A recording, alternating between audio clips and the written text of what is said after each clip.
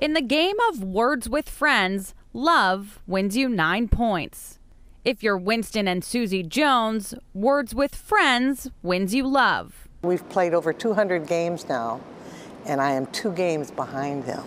The couple met online in 2017 playing the popular Scrabble inspired word game, a fun hobby that turned these two strangers into friends through a chat. So we started playing, and he's just an assassin at the game. And I'm sure I started it by saying, nice game, thanks for killing me. Four months and dozens of games later, they exchanged numbers, talked on the phone, then met for a date. We went out for dinner and we talked for a couple hours, and so we really hit it off from the beginning. And I haven't run out of things to say yet.